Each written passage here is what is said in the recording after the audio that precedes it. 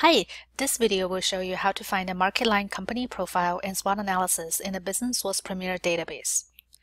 MarketLine is a business information publisher that produces in-depth reports on companies, industries, and countries. These reports are available in full text as part of the Business Source Premier database that the library subscribes to. Click on Company Profiles on the top menu bar, then enter the company name.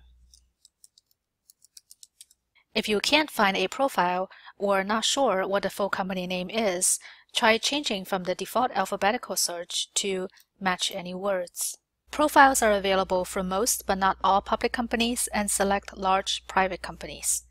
A typical MarketLine report covers business description, history, competitors, and company view, which is just the letter to shareholders in the annual report of a public company. Many but not all reports also include a value-added SWOT analysis section which gives you not only the basic facts, but also expert analysis that you can reference when you're constructing your own SWOT analysis. If all you need is just a SWOT section, and particularly if you want to compare reports for the past few years, you can simply do a keyword search. Type in company name, then SWOT. And you will get a list of reports if available. As always, pay attention to the publication date to make sure it's current enough, especially if you're using it to find a company's current problems.